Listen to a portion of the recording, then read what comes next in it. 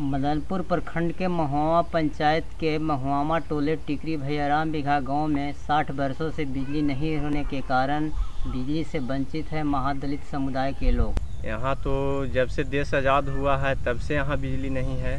हाँ, तो इससे आपको क्या दिक्कत हो रहा है? दिक्कत यही हो रहा है कि यहाँ बच्चों लोग के पढ़ने में डिस्टर्ब हो रहा है।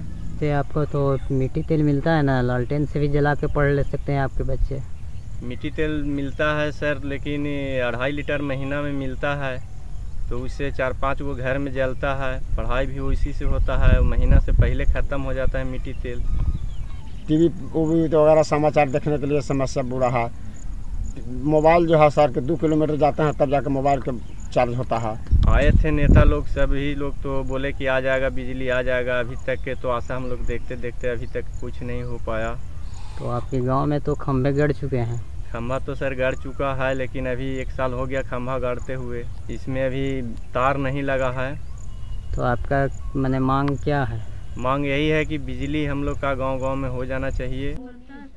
वीडियो देखने वाले साथियों से अनुरोध है कृपया वीडियो देख करके बदरपुर के जेई के मोबाइल नंबर सत्तर तैंतीस ज़ीरो पंचानवे आठ सौ पैंतालीस पर फ़ोन कर दबाव बनाएँ ताकि समस्या का निदान हो सके। मैं सुरेंद्र शर्मा ग्राम महुआ जिला औरंगाबाद बिहार इंडिया नेट के लिए।